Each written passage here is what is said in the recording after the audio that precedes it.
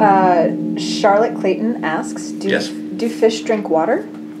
Ooh, that's a great question. Do fish drink water? Yes and no.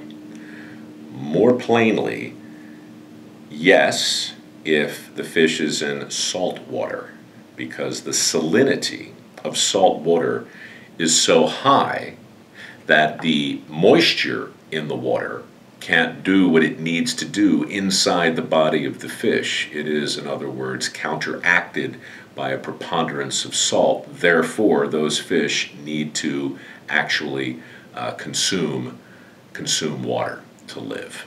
But fish in fresh water don't need to drink water because their skin, which is very porous, absorbs the fresh water through osmosis. In fact, those fish get rid of water almost constantly.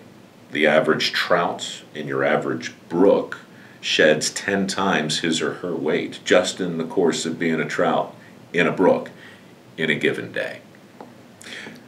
I don't, I, do they pee is the question.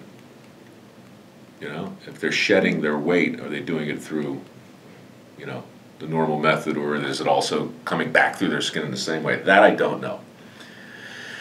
Most of that answer is correct. I believe if you look it up, you- uh, much of what I said will be confirmed. It doesn't feel complete though, because I'm also troubled by the fact that how does a fish in salt water drink?